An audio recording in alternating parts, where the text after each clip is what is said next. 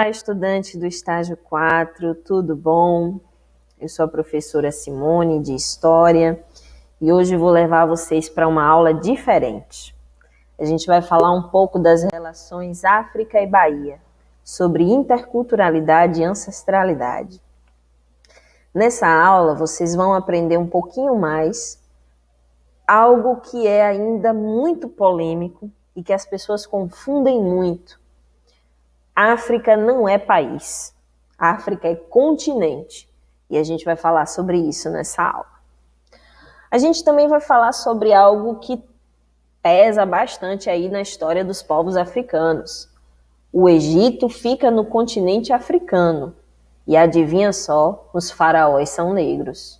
Eles não eram brancos não, hein, como passa no cinema e na TV. E a gente vai ver um pouquinho disso nessa aula. Na África também se produz riqueza. Isso aí.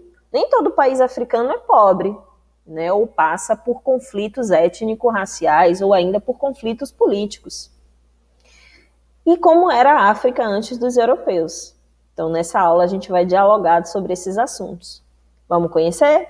Então, segue aqui comigo na viagem com a Pro. Por que, que a África não é um país? Primeiro de tudo, observem aqui essa imagem que representa o mapa do continente africano, certo? A divisão política do continente africano.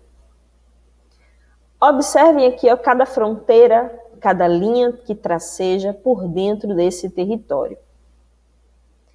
Portanto, a África é um continente e não um país.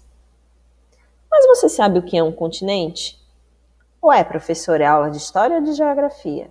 É um diálogo entre a história e a geografia. Vamos descobrir o que é um continente?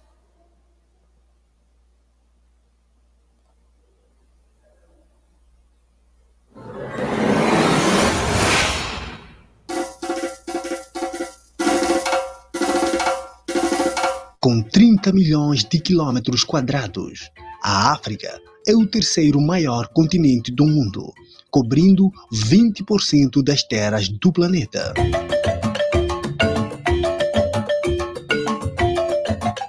Este é o segundo continente mais populoso do planeta, com um contingente populacional que em 2005 somava mais de um bilhão de pessoas. O maior país africano é o Sudão, com quase 10% do território continental.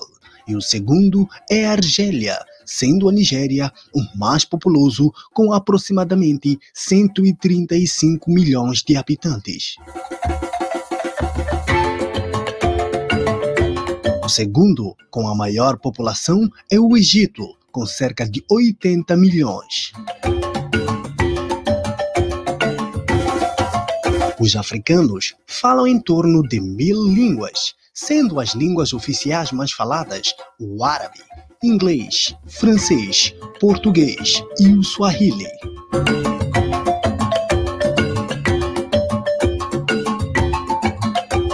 A maioria dos habitantes do continente segue o cristianismo, islamismo e as religiões tradicionais africanas. Porcentagem de cristãos é maior no sul e de islamistas no norte. Existem ainda adeptos do budismo, hinduísmo e outras religiões como a fé Bahá'í.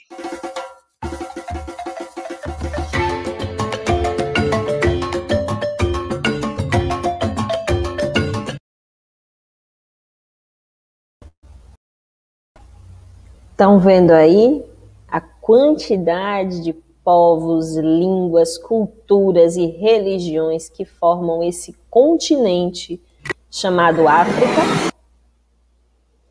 Pois é, África não é país.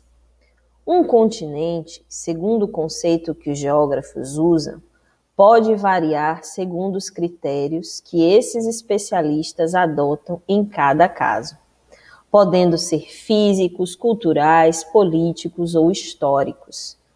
Portanto, a África é um continente. E como vocês viram aí no vídeo, com essa diversidade de povos, de culturas, religiões, organização política, atividades econômicas, que a gente vai falar um pouco mais ainda na aula de hoje. Para entender melhor, eu trouxe essa representação do Egito, né? E chamo a atenção porque ó, o Egito fica no continente africano. O Egito, gente, é uma das civilizações mais antigas da humanidade, uma das culturas mais ricas que nós temos em termos de história humana. E os faraós eram negros. Como você tem tanta certeza, professora? Primeiro, pelo continente que o Egito está localizado. E segundo, eu peço que vocês observem essas imagens, tá? Essas imagens que estão aqui são representações egípcias da sua cultura e do seu cotidiano. Essa imagem que está do lado esquerdo do vídeo, como vocês podem observar, estava na tumba do escriba Mena. Né? E aqui ele retrata o dia a dia dos povos egípcios, principalmente dos camponeses. Aqui eles estão no cultivo do trigo. E observe a cor que era pintada a pele das pessoas que estão representadas nesse painel. A mesma coisa aqui, ó, do lado direito do vídeo onde eu estou passando a laminazinha vermelha. Essa pintura representa o tribunal de Osíris, né, que era o tribunal, o julgamento dos mortos, né, para a passagem para o mundo eterno. E mais uma vez eu quero que vocês observem a cor da pele das pinturas que estão nesse documento histórico. Aqui em cima, ó, essa coroa aqui, vocês estão vendo onde eu estou passando é, a laminazinha vermelha, é a coroa do faraó. Observaram bem a cor da pele desse faraó? Pois é. Essas pinturas, elas não foram feitas assim à toa não, certo? Elas são representações que os próprios egípcios faziam do seu povo e da sua cultura. Por isso a pele está pintada de marrom, né, para representar exatamente a etnia e a cor da pele desses povos. Bem diferente do que passa no cinema, não é? Bem diferente do que passa na televisão, não é mesmo? Isso gerou e ainda gera muitos preconceitos. Acreditem, tem pessoas que não admitem que a história do Egito se passa no continente negro, na África. Trouxe para vocês um trecho de uma música que mostra um pouco dessa relação África e Bahia e que traz a cultura egípcia como protagonista. Essa canção foi imortalizada na voz de artistas como Margarete Menezes, Ivete Sangalo, Daniela Mercury, né? É uma canção também que foi cantada pela banda Olodum, pela banda Reflexos, e que narra um pouco do mito de origem, né, do Egito de como o Egito surgiu, que conta a história desse faraó aqui também, que é o Tutankhamon. Né? Essa imagem que está aqui representa a tumba do Tutankhamon, né? o local onde ele foi mumificado. Olha lá, hein? Egípcio não enterrava os mortos, não, eles mumificavam. E aí a canção diz, né? Deus e divindade infinita do universo. Em alguns locais a letra tem deuses, tá? Porque o Egito era uma nação politeísta, acreditava na existência de vários deuses. Então, deuses e divindades infinitas do universo. Predominante esquema mitológico, a ênfase do espírito original, formara no Éden o ovo cósmico. A emersão, nem Osíris sabe como aconteceu. A ordem ou submissão do olho seu transformou-se na verdadeira humanidade, epopeia do Código de Gerbe. Inute gerou as estrelas. Osíris proclamou matrimônio com Ísis e ele terá Horus, levando avante a vingança do pai, derrotando o império do Malsete e o grito da vitória que nos satisfaz. Cadê Tutankhamon, Egizé, Acaenaton? Então, nesse trecho da canção, o artista ele está apresentando para gente o surgimento dessa cultura egípcia a partir do seu mito original, deixando claro para gente que era uma nação politeísta que acreditava na existência de vários deuses e a descendência divina dos faraós. Né, os egípcios acreditavam que o faraó era um deus vivo na terra. No segundo trecho dessa canção, ele traz exatamente essa relação dessa cultura africana que está presente também na cultura baiana. Vale a pena dar uma conferida depois. Música também ensina história, hein? E na África se produz riquezas, além dessas riquezas históricas, culturais e patrimoniais que eu apresentei até aqui a partir da história do Egito, né? Algumas outras nações hoje africanas apontam também aí como nações em desenvolvimento. E aí eu trouxe algumas para a gente conhecer. Por exemplo, a República de Seychelles, que fica ao nordeste de Madagascar, segundo alguns dados da ONU em 2008, seu PIB era de, seu PIB era de 17 mil dólares per capita, ou seja, né, por pessoa. E a ilha era considerada um dos melhores lugares do mundo para se viver. Sua economia é centrada no turismo e na pesca do atum. Olha aí, nem todo lugar na África representa aquelas condições de miséria e pobreza que muitas vezes está no imaginário da gente. Tem também a República Maurícia, ou Ilhas Maurício. Né? Apesar da colonização europeia, o país mantém uma taxa de desenvolvimento entre as maiores do continente, e a base da economia é a indústria têxtil e a cana-de-açúcar nem toda nação africana ainda é tribal. Como vocês estão vendo aqui, é uma sociedade industrializada. Tunísia. O país é de cultura árabe. Tem uma economia diversificada, com destaque para o setor agrícola, de mineração, turismo e indústria, de acordo com a classificação da ONU. Está entre os países em desenvolvimento no continente africano. Olha aí, é considerado um país em desenvolvimento.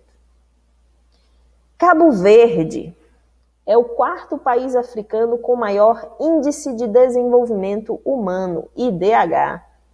Também é classificado como um país em desenvolvimento e possui um governo democrático. E a base de sua economia é no setor de serviços como o comércio, o transporte e o turismo. Uma economia democrática, gente, um país de governo democrático tem tudo a ver com essa história aí de desenvolvimento. A Argélia é a nação em quinto lugar na classificação da ONU em desenvolvimento humano. Isso são dados de 2008, tá certo? É um país que tem fortes traços culturais árabes e sua economia é baseada em produção de petróleo. África do Sul é um país em amplo nível de industrialização e tem ganhado destaque no cenário mundial. Integra, aí ao chamado BRICS, tá? Rico em biodiversidade, é considerado uma nação emergente, tem a segunda maior economia do continente, ficando apenas atrás da Nigéria. Então, assim, a gente precisa desconstruir essa ideia de que os países africanos são países onde a miséria e a pobreza são absolutas. Como vocês estão vendo aqui, a gente tem alguns exemplos de nações em desenvolvimento ou desenvolvidas, né? Ou nesse processo emergente, que é o caso aí da África do Sul. A África do Sul aponta, inclusive, como uma das grandes potências do século XXI. Vamos conhecer um pouco de como era esse continente africano antes dos europeus? Vem comigo nesse vídeo aqui que vocês vão gostar. Na aula de hoje, vamos conhecer os reinos africanos. Como já vimos anteriormente, a África é uma região bastante diversa, tanto em fauna, flora, cultura e regiões climáticas. Também vale salientar que houve vários reinos na África, em diversas partes da África com diversos tipos de cultura. Os principais reinos são Reino de Gana, Reino de Mali, Reino Songhai e Reino Yorubá. Vale a pena salientar que os reinos de Gana, Mali e Songhai foram na mesma região. Reino de Gana começou no século IV, tendo seu apogeu no século X e finalizou no século XIII por conflitos eternos. Ficou conhecido como país do ouro, devido à abundância de ouro por toda a região do império. Passou por um lento processo de islamização, situação que facilitou o comércio com o norte da África. Reino de Mali, reino de origem islâmica que surgiu no século XII. O Império Mali expandiu o território onde pertencia o Império de Gana, inclusive incorporando suas minas de ouro. A cidade de Tumbuktu foi considerada o esplendor do Império, havendo um grande centro cultural no Império, tendo a segunda maior biblioteca da África, um ponto de encontro entre os árabes e povos locais. Devido a conflitos internos, o Império Mali encerrou no século XVI. Reino Songhai, curto império que surgiu em meados do século XV na região do Império Mali, também um império islâmico, teve intensa relação com comercial com os árabes e com os portugueses que aportavam no Atlântico. Tinha um exército forte e preparado que conquistava os vizinhos usando de muita violência, motivo a qual levou à revolta dos povos vizinhos os quais acabaram dominando o Império Songhai no século XVI. Reino Yorubá surgiu no centro-oeste da África entre os séculos 7 e 12, se destacaram por suas belas obras de arte, incluindo esculturas e máscaras, causando grande impacto quando chegaram na Europa a partir do século XVI. O território iorubá era dividido em pequenos reinos ou cidades-estados, destacando-se o reino de Oyo, que tinha um exército forte, garantindo grande expansão territorial. E também os iorubás foram muito importantes para a cultura brasileira. Muito das, da religiosidade iorubá tem presente na cultura brasileira, especialmente na Umbanda e no Candomblé. E também ao linguajar e sua cultura artística. Aqui encerra mais uma aula de história. Então é isso, gente. Olha só. Nesse vídeo aqui, ele traz várias nações, vários reinos que formavam a África antes da chegada do europeu. E como vocês viram aqui, ó, alguns deles têm umas relações bem diretas com a formação da nossa cultura baiana. O reino Oyo, ou de Oió, né, como em alguns livros ou pessoas vão apresentar, são responsáveis por é, não é por trazer, sabe? Mas assim, os povos africanos que foram trazidos para cá, para o Brasil, né, para ser escravizados aqui, que vieram dessa região, deram origem em 1835 na Bahia ao maior levante de escravizados do período, que é o levante malê, né? A rebelião dos malês tem essa origem dessa tradição que traz elementos da cultura africana e da cultura árabe. Esse nome malê significa muçulmano, ou seja, eram escravos islamizados que aqui existiam, que se comunicavam na língua árabe, né, eram alfabetizados em árabe e que por isso conseguiram organizar a maior rebelião escrava das Américas depois da Revolução Haitiana. Então, assim, as relações Brasil e África são muito, muito próximas, como vocês viram aí. Desde o Egito Antigo até esses outros reinos que têm uma cultura bem diferenciada. Observe que os povos africanos têm relações com os povos árabes, com os povos europeus, né? E cada relação dessa se processa de uma forma e que chega aqui para nós, brasileiros e brasileiras, e baianas e baianos, exatamente por conta dessa longa relação de escravização dos povos africanos no território onde hoje a gente chama Brasil. Com isso, é importante ressaltar, então assim, apesar da escravidão ter sido algo terrível para a nossa história, o legado deixado pelos povos africanos e seus descendentes na nossa cultura é imensurável desde aspectos da religiosidade, as formas de vestir, as formas de comportar-se, algumas palavras do nosso idioma. Né? O nosso português é muito diferente do português de Portugal, exatamente por conta dessas relações África e Bahia. Como dica, né, converse com seu professor, com sua professora. De repente seria interessante pesquisar esses vídeos, essas músicas famosas, principalmente as do carnaval, né, que contam e que narram essas histórias dos povos africanos e de seus ancestrais aqui na Bahia, que no caso somos nós. Né? Eu trouxe para vocês aqui um trecho da canção Faraó, né, que narra um pouco dessas aproximações. Mas eu posso dar umas dicas também. De repente vocês podem procurar a canção é, Madagascar, Ilha do Amor, que conta a história da rainha Ranavalona, né, do reino de Madagascar, e que resistiu ao processo de ocupação dos europeus em seu território. Né? Era uma líder nata, uma governante nata, a Hanna Valona, né? e que defendeu o quanto pôde o seu território da ocupação europeia. Né? Tem também a canção Senegal, né? que conta um pouco dessas relações também Brasil-África, só que aí no caso se tratando lá do reino Senegal. Né? Uma outra canção bacana para vocês conhecerem um pouco mais desses reinos africanos e de outros povos africanos, por exemplo, é uma canção do Edson Gomes chamada Etiópia, né? Que já trata um pouco mais dessa África do século XX. Aliás, uma curiosidade: a Etiópia é uma das nações africanas mais antigas, assim como o Egito. E sabiam que é uma localidade que a religião principal é o cristianismo? Pois é, nem todos os povos africanos têm como elementos da sua religiosidade a natureza. Tem também nações africanas que são cristãs nações africanas que são islâmicas, e a diversidade não para por aí. Voltando à canção do Edson Gomes, Etiópia. Nessa canção ele narra o que foi o processo da Segunda Grande Guerra Mundial e os impactos que isso tiveram nesse país, Etiópia. E aí tem um trecho da canção que ele diz: Quando Mussolini invadiu a Etiópia, né, o rolo compressor foi brutal.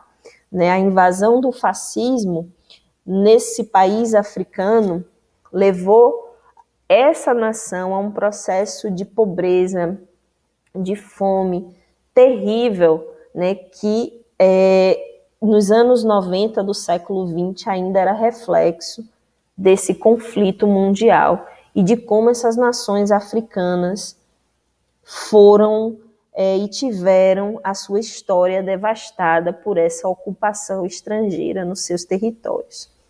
Eu espero que vocês tenham gostado dessa aula, que tenham aprendido que há muito mais de África na Bahia, né? Por conta dessas relações históricas que a gente conheceu aqui, e a gente se vê no próximo encontro. E aí termina essa aula.